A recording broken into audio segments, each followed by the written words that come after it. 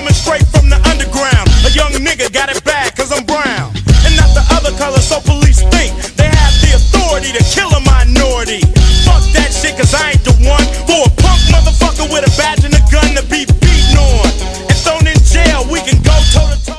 going on guys? It's Corey here, or Colt Ace, back again with another video for you guys today. And today we're going to be telling a life story, so without further ado, let's get into the video. My date for prom was a girl I was talking to at the time, or had a thing with. We weren't dating, but at the same time, like, we were talking and that stuff, people knew we were talking. And one of my good friends, Zach, actually, like, it seemed like he had a huge crush on her. So after the actual prom dance, we went back to the school where the after prom was at. So at this point in the story, we're about 30 minutes into the after prom, and me and my friend Zach decided, hey, let's go get some food. We head over to the tables with all the food and that stuff, and we sit down and we start to eat. My friend Zach just happens to be a huge pothead. I rarely ever smoked at this point, like this was probably going to be my second or third time smoking. While we're eating, Zach actually asked me if I want to go back to his house and start smoking before we get to the after party at my boy Colin's house. And I was just like, alright, fine, you know, it's prom night, why not just turn up a little bit more, it'll be a fun time, nothing's gonna go wrong, any of that stuff. I was sober at the time, so I drove myself and Zach back over to Zach's house, and we went right to his basement and started smoke. While we were smoking, I got a text from my boy Colin saying the party started so you guys can come over whenever. So we start to walk to Colin's house, and let me tell you, this was possibly like the longest and most treacherous walk of my life, yet it was like a two minute walk. This walk felt like I was playing Rainbow Road from Mario Kart, it was that treacherous and difficult, I swear. And literally, we just had to walk through a couple bushes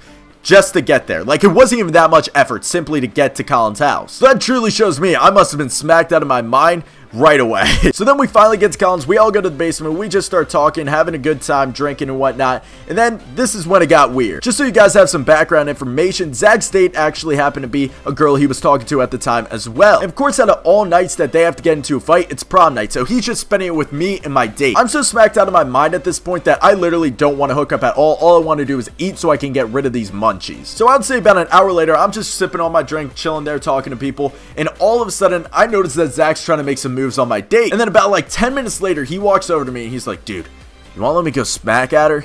And I straight up just say, go for it. I would say about an hour later, my friend Zach finally thought he had it in the bag with this hookup. So then after my friend Zach keeps getting rejected, my date actually walks over to me, sits on my lap, and starts kissing my cheek, and I knew she wanted to hook up at that point, and I was just thinking to myself, dude, I can't do this. Like, I'm so smacked out of my mind, I cannot even tell the difference between, like, a goddamn goat and a goddamn pelt. So then I tell my date, you know, can you get off for a sec so I can quickly go get another drink? And about five minutes later, I come back, and I see her messing around with my boy Zach. So all the guys were planning on sleeping at Colin's and all the girls were planning on just walking up the street and going to our friend Christy's house. So all the girls are saying bye to all their dates and that stuff, and my date walks over, gives me a hug and that stuff. I was just like, alright, I'll text you tomorrow or something. And then she walks over to Zach, and literally goes absolutely dick on him. Just acts like she's about to kiss him. All of a sudden, Zach's like, oh shit, and he's about to go in to kiss her, and then all of a sudden she's like, Alright, I'll see you later, and shakes his fucking hand. My boy Zach got friend zoned so hard that I swear to God, there were just stories to be told for centuries about this shit. So about a week later, I actually end things with the girl I took to prom. And then I would say